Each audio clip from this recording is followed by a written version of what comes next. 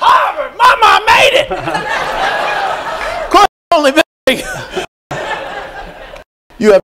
No, absolutely. Well, well, thank you so much, and thanks for the warm welcome. Uh, you know, I, I, I, lecture here every day, and I just I wish my students would greet me like this when I walked into a room. So perhaps you can come to one of my lectures and uh, Am I the atmosphere. You're definitely, definitely invited. A scholarship or something? Well, I don't know about that, but. Uh, but seriously, um, welcome everyone um, to this important forum, a conversation with Cuba Gooding Jr. and Rick McCallum. Uh, we are delighted that you are here, um, and thank you to the IOP, the Institute of Politics, for providing the space and for um, providing the space for these important uh, conversations. We have uh, leaders in all fields come here, from politics uh, to the arts, the sciences, the academy, and we are delighted our guest today, uh, whom.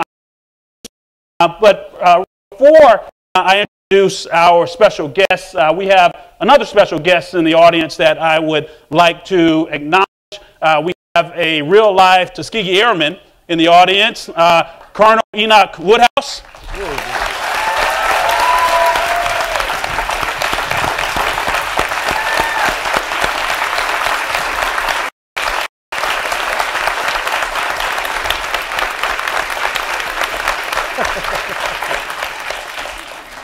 Uh, uh, Colonel Woodhouse, whom we affectionately call Woody, um, is a great friend of the university, a, a graduate of the, the, Yale Law School. Um, what year? 1955. Bless your heart, Woody. Uh, man. I said, the money man. He said, yeah, because I used to pay people in cash.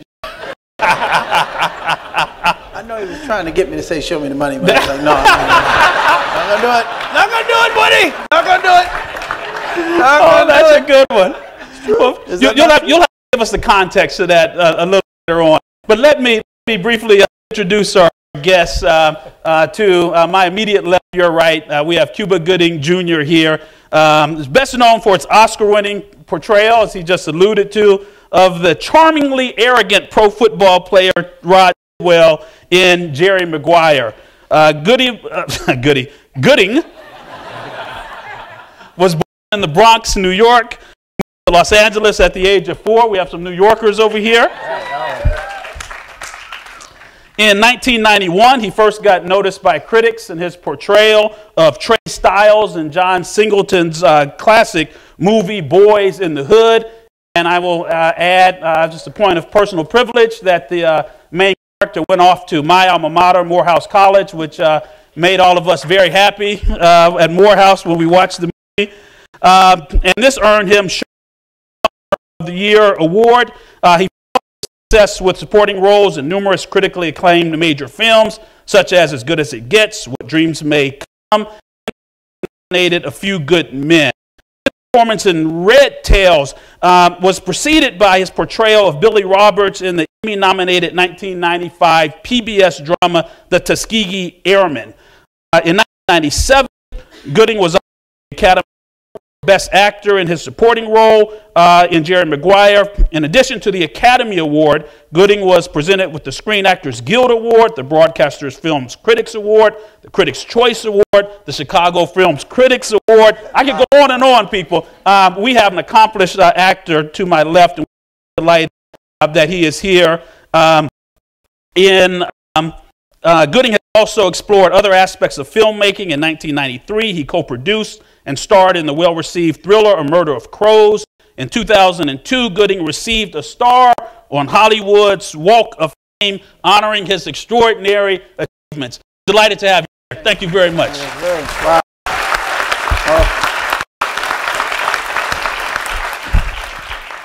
And uh, next to Cuba Gooding, we have Rick McCallum as the producer of three Star Wars prequels The Phantom Menace, Attack of the Clones, Revenge of the Sith. Rick McCallum has helped bring to the screen some of the most successful independent films of all time. Uh, Rick, I, I, have you know that I have a full size uh, Emperor Palpatine, a full size Darth Vader, and Yoda in my basement. Luckily, I have two children. I can pretend that, that it belongs to the children, but uh, the, the, they're, they're mine. That's sad, but it's okay. The global blockbusters are, high, uh, are highlights in a career that has seen McCallum produce eclectic and always groundbreaking film and television projects, beginning with the 1981 Depression era musical Pennies from Heaven uh, by director Herb Ross and Dennis Potter. McCallum has produced movies with, with renowned uh, filmmakers, Neil Simon, uh, Harvey, Harvey Fierstein, uh, for example. 1980, McCallum reteamed with Potter, serving as executive producer on the landmark BBC TV series, The Singing Detective. They worked together again in 1989. BBC's four-part Black Eyes. Their collaboration also brought to life Potter's acclaimed Dream Child, an unusual exploration of the creation of Alice in Wonderland, which won three BAFTA awards. Now, it was on the set of Dream Childs that met Star Wars creator George Lucas. Several years after their first meeting, Lucas was preparing his first weekly live action television program, The Young Indiana Jones Chronicles. And he turned to McCallum to produce the ambitious, ambitious series, which was shot in 35 countries. When Young Indiana Jones wrapped, McCallum Radioland Murders, for which Lucas served as executive producer. During its, during its production, Lucas confided in McCallum the plans for three movies. Together, the Wars McCallum has produced have grossed more than three billion, that's with a B, dollars worldwide. Recognizing his contributions to the movies 1999, Cinema Expo named McCallum its producer of the year. McCallum, the McCallum Lucas collaboration continues now with Red Tails, which, uh, gentlemen, I saw the movie. It was a wonderful, wonderful movie. We are delighted to have you both Thank you here. so. Thank you very Thank you. much. You. Welcome to Harvard.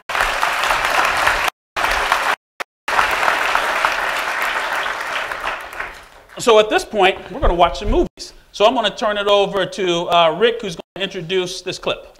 Okay, I think what we're seeing tonight is uh, a little bit, a small segment of a, a documentary that we did. One of the problems in you know, dealing with big feature films is, is it's very hard to do an historical piece um, because most people want to go to movies to be entertained, and which we can talk about why that's so. But in America, probably 90% of kids under 24 have never even heard of World War II, Vietnam, Korea, um, and have no understanding whatsoever of Tuskegee Airmen.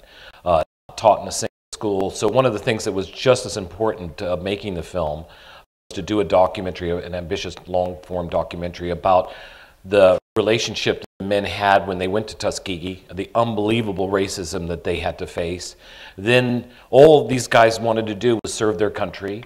Uh, all they wanted was a shot, just one chance to prove what they they got a shot to go to North Africa, but the Air Force or the Army wouldn't let them still fly at that point. Finally, it got to a point where we were using 50, 60 bombers a day with the British. That was five or 600 young kids a day, and they had no other choice. There's no other pilots.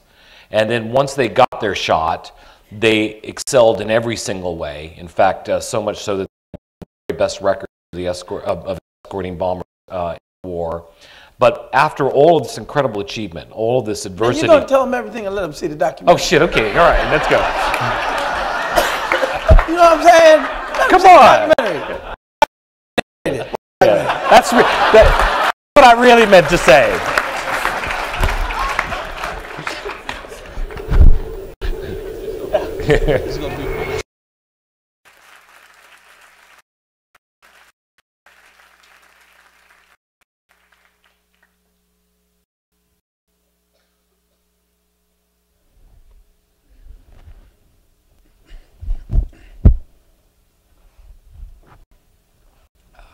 Wow. Well, that was great. Well, let's give it a hand again. That was a great.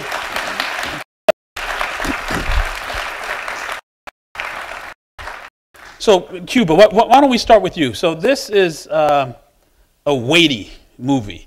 It deals with a, a weighty topic, I should say. Um, what does it just? What does it feel like making a movie that that that that introduces to an entire generation a, a, history, and unfortunately had been um, to many forgotten? Well, that was almost a perfect statement. Let me start again. The documentary deals with a lot of the weighty issues. But the film Red Tails is more like an amusement park ride because it has all the effects. George Lucas's touches on it. It still deals with weighty. It weighty deals with it, issues. it absolutely does. I remember the first time I read that script to the first Tuskegee Airmen movie, having supposedly finished my education and not and having a firm grasp on American history and not knowing anything about the Tuskegee Airmen. The fact that these men and, and women uh, uh, apparently an all black uh, fighter, the 332nd Ramitelli, Ita- Italy, but uh, that they were all black, educated men and women fighting for our country. And uh, it, it was a frustrating feeling not to know that we had such a positive impact on, uh, you know, during all the war efforts, not just World War II, but all the way from the Native American uh, wars. Um, you know, I, I, it's funny because as I learn more about it, learn more and more about our country, I realize our curriculum back then didn't, they didn't have an African American curriculum in history. They didn't teach, um, uh, teach it in the, in the schools that I went to in the, uh, you know, mid early 80s. But um, it's just funny that I realized I have two boys, 15 and 17, who are going to school. Kind of looking at this college too last week. That's all I'm saying. That's all I'm saying. Spencer Gooding. I got to pay Spencer Gooding, yeah. Spencer Gooding, Spencer James Gooding. Um, but a lot of the education I got, and a lot of these, especially kids who can afford to go to wonderful colleges like this, wonderful colleges like this, they get through cinema, and they get through watching films and stories being told, and it was a shame. It has been a shame that these men haven't been recognized so many years sooner. It's about time, you know. It's about time great uh, the contribution as African Americans have made to America. And and this film, like you say, it's weighty issues, but it's a celebration of just being an American. You know, after 9/11, I mean, it wasn't cool being American in Europe. You know, I traveled there and uh, you know dealt with with that thing, but uh, but we're you know we're a wonderful country. Well, Rick, let's pick up right right there. So, uh, Cuba said it's about time that the movie was made. It took a long time uh, for it to get made, uh, and as he pointed out, it it it really is an American movie. It's about heroes, which you've done well. Uh, heroes doing fighting for its, its country. Why did it take so long for this to get Well, I mean, to make it, I'll, I'll tell you, I had never even heard of the Tuskegee Airmen until George mentioned the story, and he had been told a couple of years before by a very good friend of his, a photographer.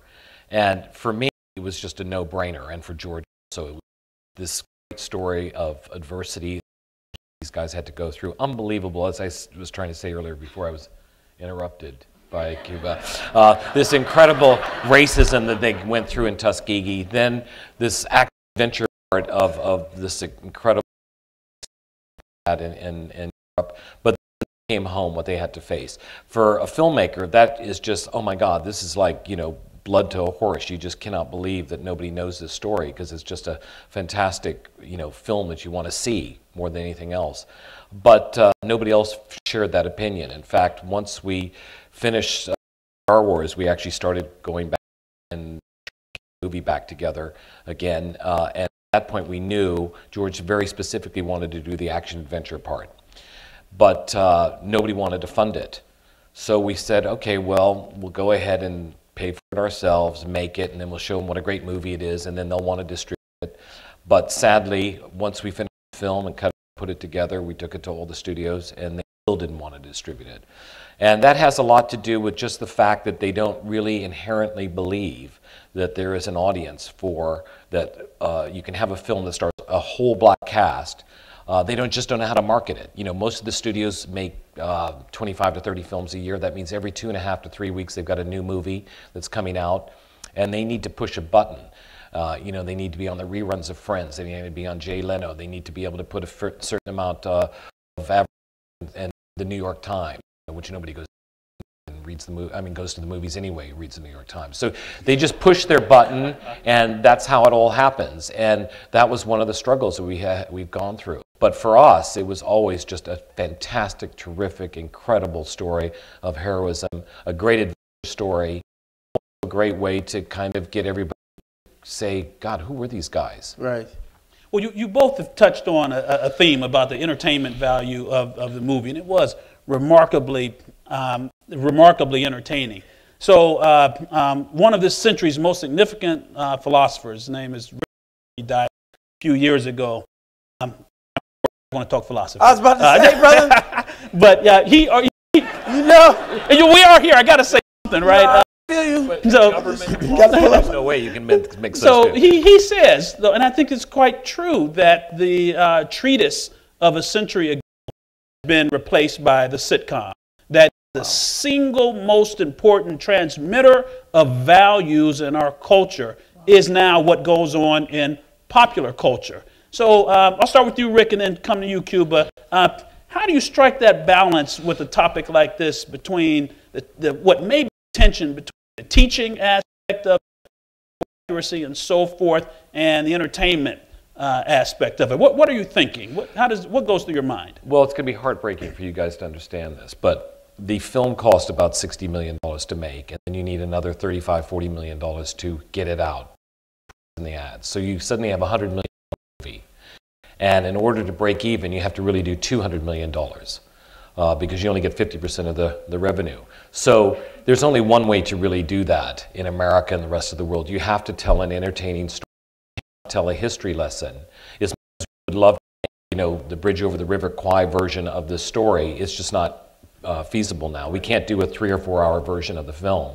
So it has to hit people. It's got to be, it's got to the zeitgeist of America. And they have to want to go see the film because they want to be entertained. Um, but that's not necessarily a bad thing because it really can, as you say, it is one of the most powerful forces on earth. I mean, no other industry, no software, no mineral on earth can still generate the same but also attention to the topic as a popular film. But you, you got to know Tuskegee Airmen and you, you really get into the, the story and the characters. So what are you thinking about this, this tension, if it is a tension? Well, let me, let me first say one thing. I mean, because Rick really put, put it to task about the, uh, you know, the main goal in Hollywood is dough, you know? It's money. Greenism. Greenism, yeah, exactly. And, uh, you know, a lot of these studio executives, they're making a wrong decision and losing their job. But there's, there's one element that we have to recognize here, and we have to, you know, take the moment to acknowledge, and that's George Lucas's passion to tell this story. Because not only did he put his own money up to tell the story, but he knew that, it, like Rick had said, make it an entertaining ride for kids. That's what he wanted at first.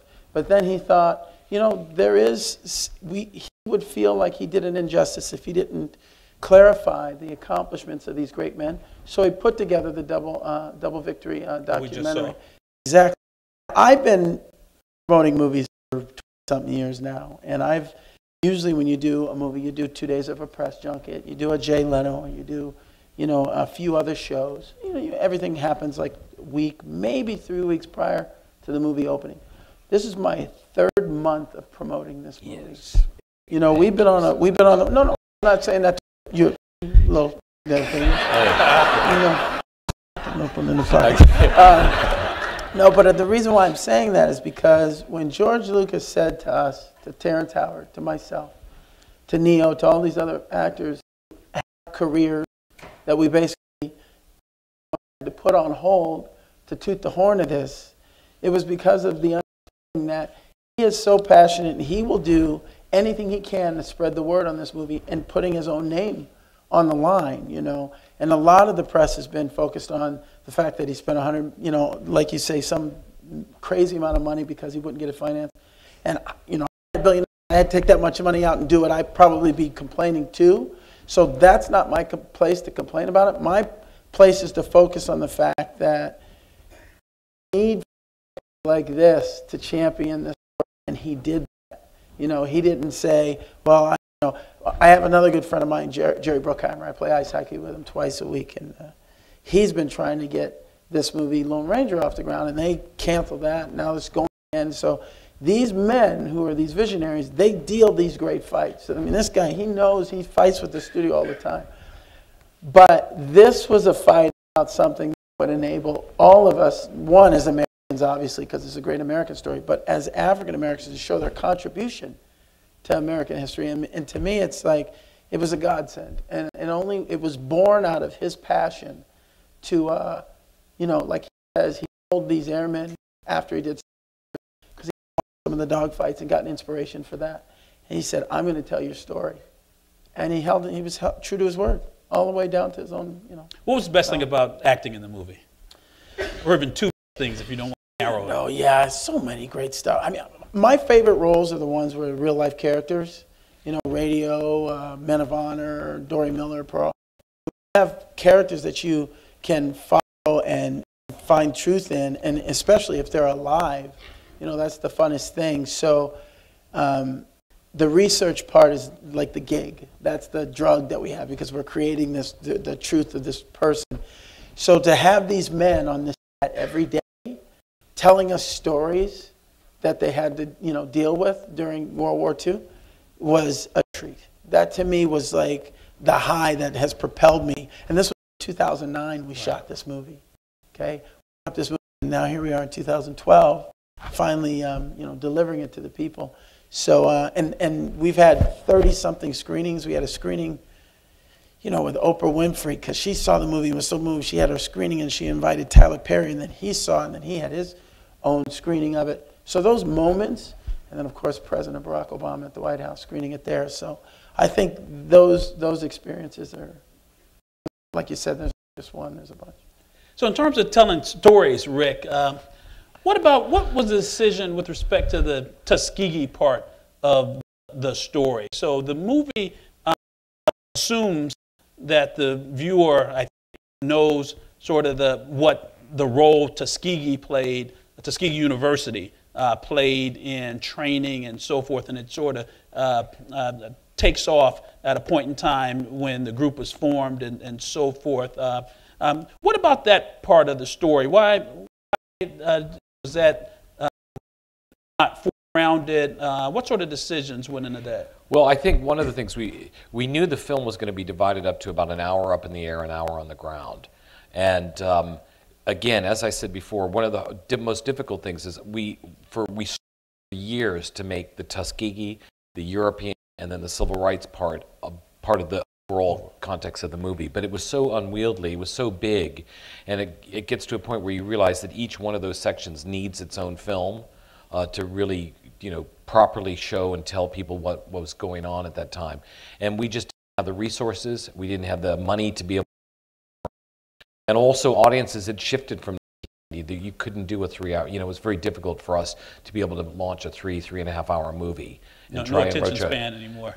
Absolutely. So the idea was to get everybody interested in this part, have the documentary fuel the rest of the part. Uh, and the documentary, we're happy to say, will be in schools next uh, this year in September. It's being part of a huge campaign uh, the teachers are embracing all over the country uh, in high schools and junior high schools. So that part we and then if the film does reasonably well or well enough, then somebody can either do the prequel or the sequel to the film. Okay. Now, what about, uh, same question about stories. What about the, the, the, the women, the, the, the, love interests of all these great pilots, uh, uh, some of whom were at, at waiting, uh, but we also had a few uh, airmen who were, were women. Um, uh, they weren't allowed to fly, unfortunately. The, the, the, it's, it, exactly. Um, um, any thought about that story, uh, weaving that in? Well, when the guys were in uh, Naples, not only uh, there were a lot of African American women there that were in the Red Cross, but when they went over to Ramitelli, and this is a fictionalized part of the story right, right. what took place, they didn't come for about six or seven months. We didn't try and get into the story of that too much because what happened is, is a lot of the guys did meet white girls there, Italian white women. A lot got actually married, not a lot a few got married. It, it's part of the story in, in that thing because that brought up a so that's another story. Issue. I that's actually wasn't even talking about that story. Major story that needs to be told. What also. he's saying is this does yeah. have women. yes, exactly. what he's saying. So I'll take it. And he's doing research right now. He's, he's preparing, huh? There you go. You know, you always got to take one dirty. you just get the joke. So, so Cuba, uh, Yes, Rick sir. mentioned uh, that you know the uh, fictionalized account. So uh, uh, when you were in It- It- Italy, or the characters were in Italy, so you get uh, coming up to you and saying, "Well, you know, you know that scene in the movie it seemed like it was Wednesday, but it really happened on Tuesday." Yeah. Uh, what do you think about that? Uh, Well, more specifically, that isn't B 51 bomber, that's a B, B 17 bomber, B 24. It's like, I get it. Breathe through the nose. I get it. I get it. No, I mean, you know, each, uh, like they say, filmmakers uh, say that you don't finish a movie, you surrender it. Because at any given time, you can tweak it, you can adjust, you can add. You, you know, it's the hardest thing is sitting, watching your movie and seeing something and go, oh man, I forgot, I want, you know, and it's already out there. So, you know, and then it, come, it takes its life of its own. You know, people say, oh, interesting how you did that thing, and that was, that- wasn't even supposed, that was a take, I don't know why they used that take. How'd that get in the movie, you know? So, but it's, you know, it's, it's the power of cinema, you know, people, uh, they take the Bible, which is again why we thought it was such an important statement to make about the Tuskegee Airmen to show that they had, you know, a major contribution in the, war efforts and, and to put those black faces up there and, uh, and just not, you know, I know a lot of said the black airmen, but they're just airmen. You know, These are airmen, and kids don't see color. George Lucas tells this wonderful story where he had a and they're at the end of the screening In Atlanta. in Atlanta, and these two young Caucasian kids who were going through the um, the uh, lobby of the theater, going like this, and one was going, "Look, I'm lightning," and the other was going, "No, no, look, I'm lightning. You light, not lightning. I'm lightning." And he's a black character, and to me, that's like, all right, now, now the film's making the statement because it's just, you know, it's just I, th- I think it's a healing statement for America, you know. Well, I- I've read that uh, great artists uh, like yourselves, when they do a, a, uh, a significant uh, film, that, uh, that they evolve as, as, as, as, people, uh, that, uh, that the film uh, becomes part of them in a way that, that, that, that, they, that, they, that, they, that they change. That some films are so um, emotionally and physically draining that it, uh, it actually uh, chips away at some of that uh, hood, for lack better word. How has the film impacted you? I know you said you shot three years ago, but uh, uh, how, do you, how, how are you different? How are you the same? You know, be, besides the education of the facts that we've been speaking about all day today, I mean, just the, especially my character, when I researched my, it's a lot, Benjamin Davis Jr., you know, and the, the fact that he had accomplished so much in a second military and never complained, you know. I mean, it's like these qualities are attractive to me in these roles, you know, um, especially having two sons and trying to teach them how to be men, you know. It's, uh, it's interesting when you get to step in the shoes of these, these, these images, you know, because they really are uh, like, like actors and athletes. We hate to say, oh, I don't want to be a role model, I don't want to be a role model. And my thing is like, don't look at us to role model, look to your history, you know, because these guys, these guys are role models for what they uh, accomplished. So, Rick, uh, great first weekend, huh?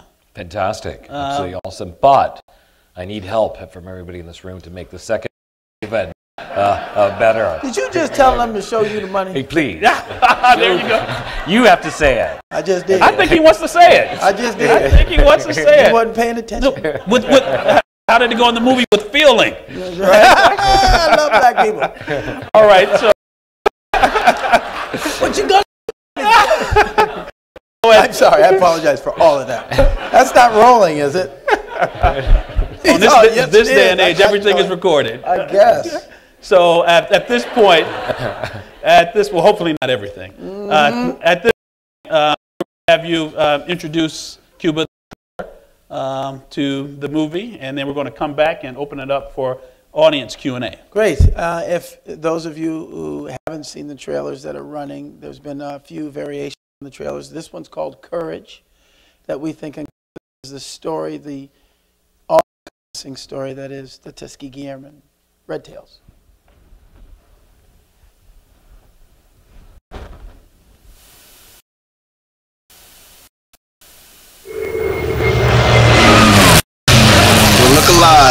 Wouldn't want you to miss this war.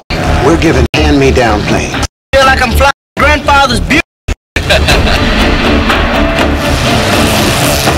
They got us out here using planes to mop floors, fellas. Put your head up, son. You're fighter pilots. Train, 11 o'clock. It's military. Let's give those newspapers something to write about.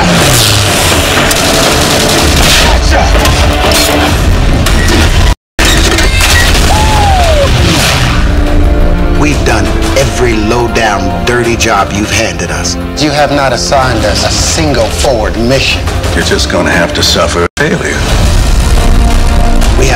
We have a right to fight for our country, the same as every other American. So you shut us down, or you let us fly. If I get you the your men have got to get through. We need to change the way we fight. I need pilots who will put the bombers ahead of themselves. Can you help save lives? At all costs, you protect us. Pilots,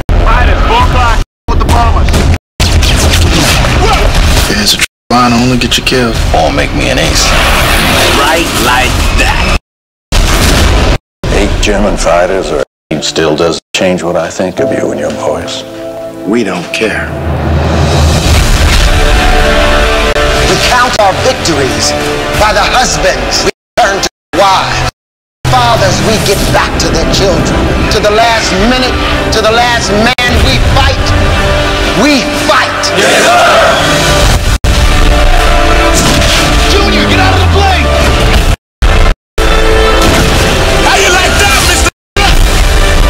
expectations placed upon you men are high. Heavenly Father, we ask that you send your angels down to surround us as we fly through the Through adversity! To the stars!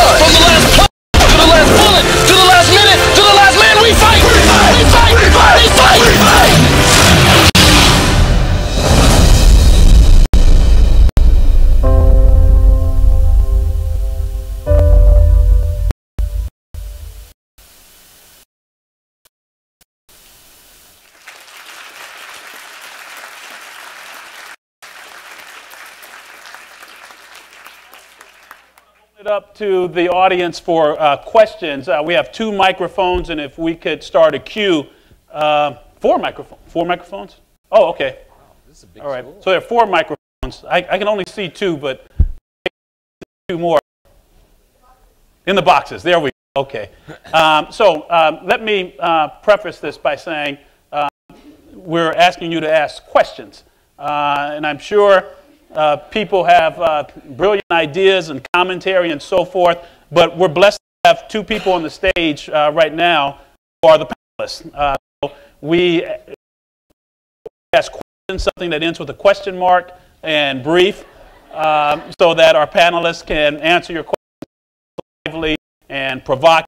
Uh, so tell us who you are, um, and if you're affiliated with the university, what, what, what, what department, what year you are, and uh, we'll get going. So we'll start right here. Yes, sir. How's it going? My name is Salman Hussein. I'm here at the Kennedy School, and I'm a Master's in Public Policy candidate. Uh, so I'm a really big fan of Men of Honor, Mr. Junior. So I was just haven't been able to, you know, haven't had the pleasure to watch this movie yet. How you compare the two, you know, the, the making of the two, what they both meant, to, what they both meant to you, because uh, that was a really inspirational, historic movie, and I know that this obviously must be too. So talk Thank about. Absolutely. Thank you for that. Uh, that one will always be very special to me. Uh, a lot of people think that Jerry Maguire is my most celebrated film, and it very well might be. I mean, it made a lot of money and awards and whatnot. But anywhere I go all over the world, that movie seems to have people comment to, commenting to me. Uh, so, uh, I mean, it's really any, any project, like I said earlier, about real characters, real people, you know, in American history is something that attracts me. And uh, I think a lot of the principles and, and, and uh, characteristics that made up Master Chief Carl Brashear is the same that is evident in these airmen in this movie. So I think we more. I'm just kidding, fine! Up top. Hi, thanks for coming. My name is Lisa King. Um, I'm a fellow at the Carr Center for Human Rights Policy here at the Kennedy School.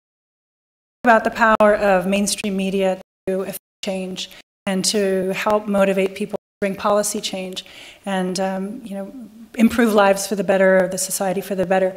You're here at the Kennedy School of Government and our Institute of Politics. What would you like to see this film do? I mean, where would you like to see it go? How would you like to see it um, make some kind of an impact on our society? Well, I think we've been trying to mention that earlier. I mean, one of the things is, is we definitely want to get the story out to schools. We definitely want to make it, you know, finally part of American curriculum at all schools across the country. Um, it's just very important for us to have the story so pe- people will like the film and want to learn more. That's the biggest thing you can ask from any movie, really. And do you have any? No, that's you know, just, uh, you know, just people to know what these men accomplished, you know, and if that means, you know, putting it in the all the schools and uh, I was saying to Rick, it's like, what are we doing foreign? Are we, you know, let's, let's screen it in Paris, let's screen it, you know, Australia and Japan. Just let people know that this is this. It's not not to take away from great movies like Color Purple and, and whatnot, but it's not just slavery when it comes to African Americans. So. Thank you. Hi, my name is Chuma. I'm a Where you at? Chuma? right Fox.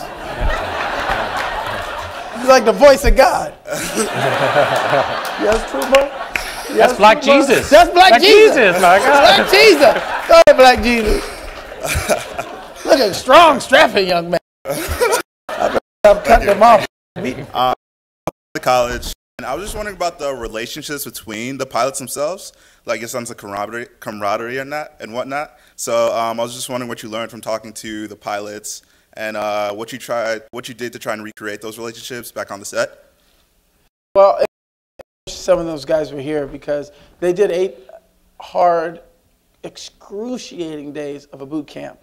Now, I had done that already in 1995, so I wasn't going to do that again. but these young men slept in the snow and were woken up at 3 a.m. by shots and all of this stuff, and uh, it really created a bond between them. Uh, Terrence and I had been the old men on the set, so we had had a lot of experience. So we would sit around and just talk stories about, uh, you know, how what it, it is to make a military movie and what to focus on, and get too up in, and, and to, you know, because one thing we didn't want is to push the words or to push the performances. Because, you know, I remember that when I was reading some of these monologues that I had to give, I was weeping. And I was like, man, how am I going to try to say this if I can't even stop crying, you know? But these men weren't emotional. They just did what they felt was their duty, you know. And as we know now, it was heroic. But, you know, if that seeped into my performance, then it wouldn't have, it wouldn't have gotten the points across. So it was just a lot of us talking and living in our space. And it helped that we shot in Prague in that abandoned uh, Russian airbase because we had no outside interference from anybody, just a group of guys who did a lot of stuff together. So. Right, yes, sir. Uh, my name is Damilare uh, Sonoiki. I'm a junior at the college, and there are a lot of articles about the uh, difficulty of getting the movie financed because of you know it was seen as a black movie. And a lot of these articles they mentioned actors like Denzel Washington and Will Smith who are kind of seen as like post-black and who can kind of maybe that's not the right word, but who can lead a movie on their own and not have it seen as a black movie. What do you think about that? And what are your thoughts, you know, on that phenomenon? How do you achieve like post-blackness as an actor? And how can we get Go past well, you got to wake up every morning. No, um, It sucks. That's what it does. It really I'm sucks. post black. No, you look black to me, motherfucker. uh, no, it's a question. I and I really want to deal with it on a serious manner. Um, you know, i there's a list in Hollywood of actors. Let's just leave black out of it for a second, just so you, I can answer your question. There's a list of actors that they're, the, um, Tom Cruise, uh, uh, Russell Crowe, and Daniel Day Lewis that the, the studios will greenlight no matter what they want to do to some extent. And there are other white actors that are trying to get on that list, that are fighting to get on that list. So, in terms of Will Smith and Denzel, they earned on their specific list.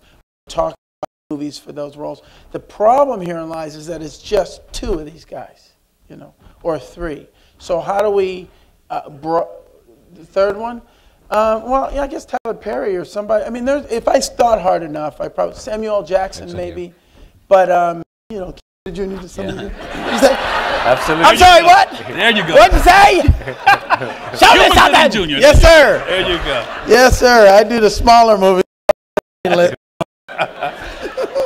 but that's the thing is that we, you know, we have to we have to continue to. Um, well, it's, it's it's one of those things. That's where the, the the challenge lies, and that's you know as long as the new talent is coming up and they're just focused on getting whatever job is available. Like I have to acknowledge Nate Parker and uh, Elijah Kelley and Trist, uh, well, specifically, and um, uh, oh, I'm blanking on his name. But these are two actors that are in our movie that are that have directed, produced, and uh, made. They they're wonderful singers, and they're not just acting; they're doing everything. They're being becoming triple threats, and so you can't deny them now. I mean, Ne-Yo. Ne-Yo, well. Ne-Yo is Ne-Yo, but uh, uh, uh, uh, did a music video with images from the movie that I think they're going to It's put on out. YouTube. Yeah, it goes out. It's on YouTube now. Yeah, Uh, and it's amazing. It's amazing, and he did it all on his own. And I think that's the next progression. If we get them to give us roles, and them, I mean the, the the roles that are out there. If we just say, "Oh well, there's no blacks in that," then we will continue to be stymied. And we have to branch out and, and, and, and write. You know, these guys are writing and do for ourselves. So. Well, I, actually, George mentioned it really last week when we were all together. He said, "If we open up at 20, then we're in the game. We'll be able to hold on. If we can do 30 or 40, oh my God, by the second weekend, if you can get every single person at Harvard to see the movie, uh, you know, um, uh, then, you know. It's on my syllabus, Rick. Exactly. Thank you. So we'll see. Then we've got a shot because then other black filmmakers can actually come to the table with stories that they have that are so important. But if we open at 60 or 70 like Twilight, shit, there'll never be another white person in another film ever again. so that's it. Uh, You know, it's interesting. He did say one thing. I do have to acknowledge that we will have more uh, roles available when we're telling our own stories. I mean, you got these guys like Steve McQueen and Lee Daniels and uh, Ian Tyler Yeah, Perry. I mean, these black filmmakers that are coming and they're telling these stories. So the more that happens, the more that their their their voice is allowed to shine, then, then the parts will make themselves evident. Thank you. All right, we'll stay here and go back around the other way. Um, hello, my name is Fadal Anthony Moore. I'm a freshman here at the university. And um, the question I had um, was, well, you talked about, you know, the greenness of Hollywood and how it's all about the dough. And um, I had a chance when I was in high school to study the movie The Patriot. And one thing my teacher had us do was like list all the things in there that were false or that they that they left out of the movie or the things that are just purely anachronistic. And I know that you did a lot of character study and a lot of research before you did the movie. And I was wondering um, if there's anything that you came across that you wish the movie there that you think not people gonna tell know. you that. when you see the film, we'll talk about it. Yeah. Buy the DVD. We'll put it in the extras on there or something. I think. Uh, I think if there was something that I wish was uh, story between uh, the Jasmine Sullivan and one of the, the airmen, and and she's a singer, and there was these uh, these speakeasies, so to speak, in Italy that used to hang out, and that, I think that love story kind of got lost because of the grand of the story trying to tell. But you know, sequel, sequel, DVD. Prequel. That's it. You. DVD, I think, yeah. DVD. Okay. Hi. Hi. Ooh. Ooh. Hi. Uh, definitely How are you. you? That wasn't me. Okay, um, Ana Cristina. I'm a visiting scholar from Colombia, and don't sleep on Columbia. For your kids, for your kids. Right by the way. PTW. Okay. Um, so, first of all, I just want to really say thank you. I study linguistics and social enterprise, and I just feel like I just feel like Mr. McCallum, you're definitely like a social entrepreneur of this film industry. When I see film, and I'm just I'm just epic epic moment, everyone. You know, it's so epic because it's, I mean, you're fighting for a movie. And so the question is, what's the question? The question is, anyways, thank you for coming. Thank you for doing this. I love you all.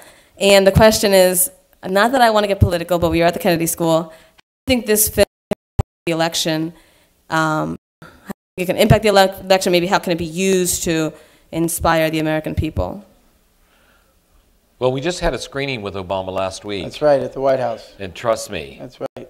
he is the only choice we've got. And he is, uh, he is the most awesome, awesome guy. But um, did anybody see the debate last night? Did you guys see the debate last night? I'm scared, shit, man. I mean, unbelievable. Whoa. Oh my Yeah. goodness.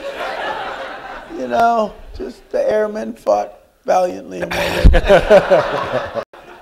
I right, think be- I think it's it's stories like these that uh, unite us as a country, and we ha- we can't overlook that. And the politicians would be smart to hook onto a film like this. President Obama. Yeah. That's why he's so damn smart. But it's up to you guys. Seriously, I'm going to get very maudlin now, but it's up to you to really change this stuff because whoa, Yeah, yeah, yeah. Um, you're the only people who can do it. We need fresh voices, man.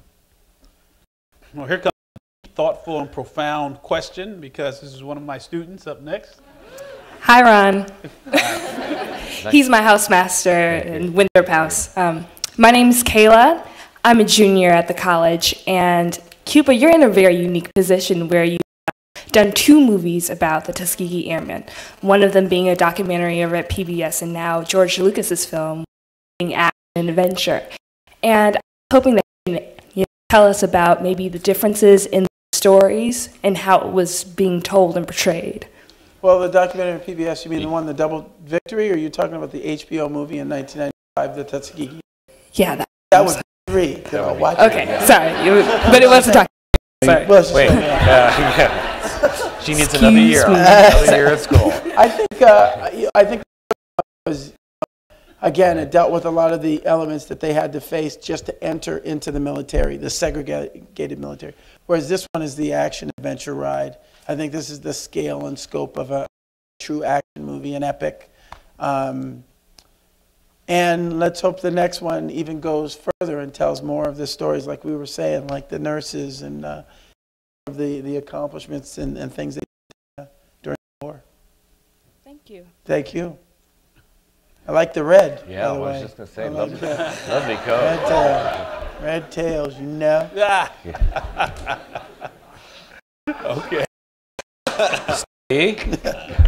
Hi, I'm Federico Quadra, JDM School, and I'm a so I've had the pleasure of seeing all your movies in English and Spanish. Uh, I had a quick question for you regarding the importance of having historical films like this and the difficulty of it is of, of capturing truly how amazing the moment was in film.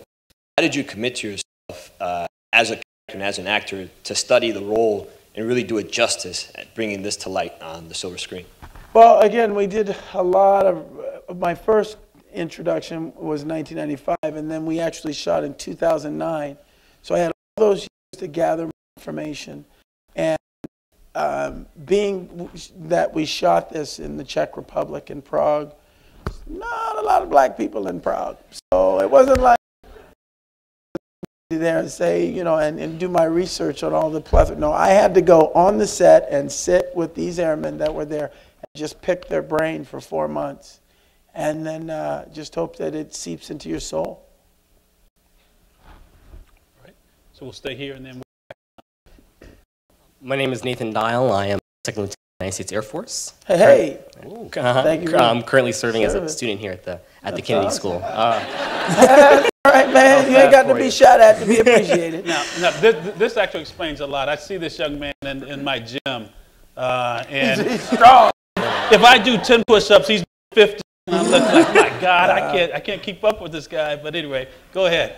um, no pressure. Yeah, no pressure at all. Uh, Now you're my territory. so, uh, the Air Force is having the first ever reunion of all the African American graduates of the Air Force Academy uh, this summer in uh, Disney World at one of the resorts there. And, and on behalf of, as a graduate, I think I have the ability to extend an invitation to you, all, the whole crew, We'll to please it. come down, do something down there at, at, uh, at this reunion, because I think with the movie being so monumental. Uh, your presence and your story and your ability to question those people. Oh, that'd be great. Uh, would be amazing. When We is can- it? It's uh, June 12th, I believe, is the date. To the 15th. Perfect. Is when it is. We'll crack that. Uh, so be definitely great. talk afterwards and give you the information. Would you be willing to consider it? Yeah, Yeah, oh, absolutely. I'm saying all this. That's the question. Another one of my students. God. Hi, my name is Sasheda Mwanza, and I am a junior studying filmmaking at the college. And uh, what I wanted to know is how can people, aspiring filmmakers like myself, especially African American filmmakers, um, break into the industry, promote and market our ideas when people such as George Lucas are really having a hard time?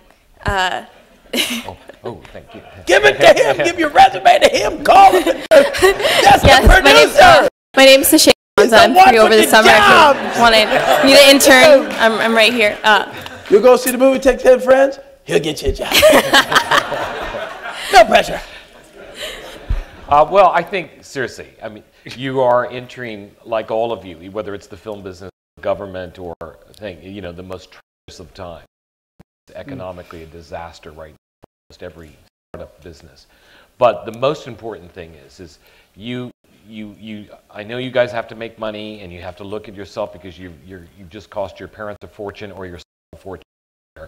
But the is, is you've got to love what you do more than anything else in the world because the money will never be enough um, and it'll never get you to the place that you need to do right now for the next 10, 15 years unless you are ready to give up everything. And the truth is, whether it's in the film business or government or anything, if you don't give up your 20s, you're going to have a lousy 30s, 40s, and 50s. You up your 20s and you are just totally focused on the stories that you want to tell, what kind of filmmaker you want to be, how you want to be able to express yourself in the most fiscally responsible way, which means cheap, um, then you will get your stories made because right now is also the best time to be able to go out on the web with a film that you've shot.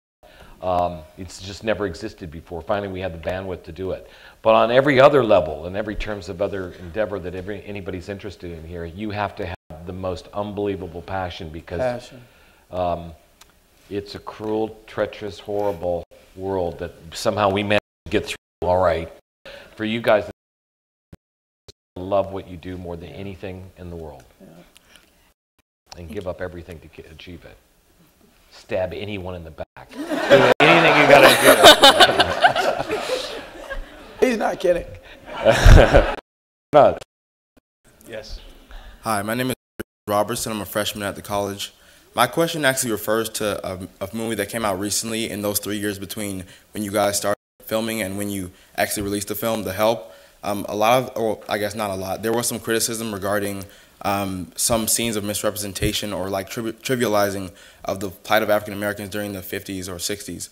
Um, was that ever a concern uh, for you guys making Red Tails, or did you guys just not about that? How did you deal with that? Well, because we were fictionalizing a group of real men and we had a great historical, there was nothing in the film that they didn't actually achieve in terms of Berlin, in terms of the destroyer, in terms of how they got together. No, we never had that problem. The second part, I'll let of uh, in Marin County, the most densely populated group of white, boring people ever. It's hard for me to answer that question. Well, I, you know, just simply, that was that story, and they told that story, and I had seen people, and we overcome our hardships, and you know, we're just happy to be here.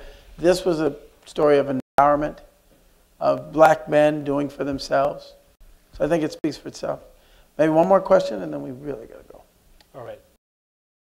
Question. Hi, I'm Mandy.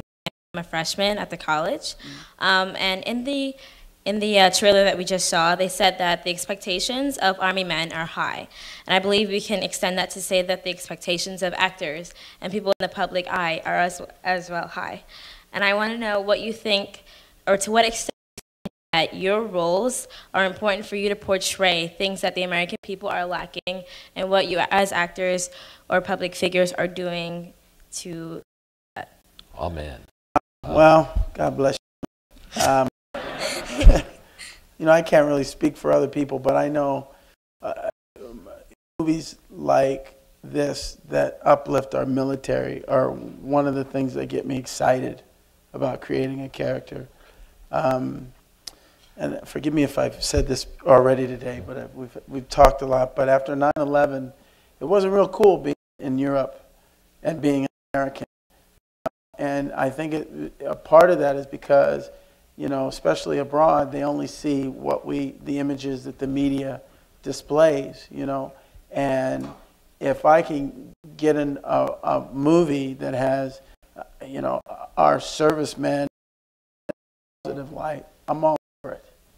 All over it, and I'm actually, it's, it's one of my, my focuses. Because no matter if you're Republican or Democrat or any of that stuff, what pisses me off when I hear the debates is when they talk about the military and then it's like, oh, well, you, then you have to be Republican or whatever it is. It's like these men and women are fighting for our freedoms. And I believe that, yes, we have bad, good people in every faction of our military.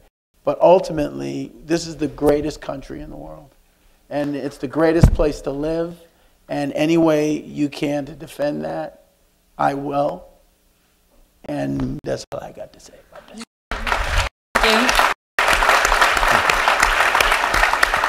Smooth. Well, with, with apologies to those in the queue, uh, we have to wrap up, uh, but we have uh, Colonel Woodhouse. Uh, very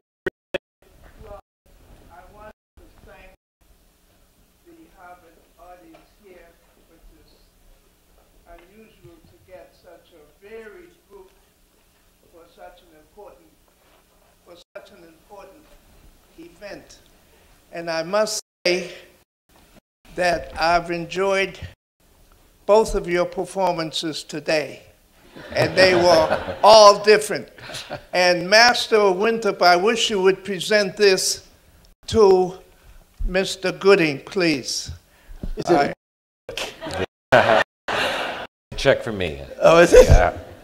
Sure it's big.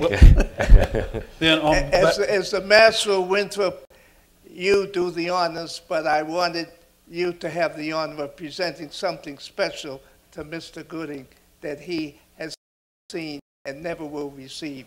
It's free. Oh, well, well, that's it, Mr. Gooding. Thank you. My pleasure. I'm, I'm, I'm curious. Me too. Oh, wow. Here, why don't you grab it like that? Wow. Look, That is beautiful. That's beautiful. Thank you. Thank you. That is beautiful. Now,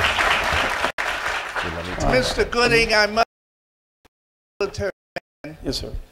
Uh, you are out of uniform. You should be wearing a red necktie. Uh-oh. Well, this is kind of red. No, no, no. More like burgundy. So this is my Look at that. Official Thank you. Tuskegee. Wow.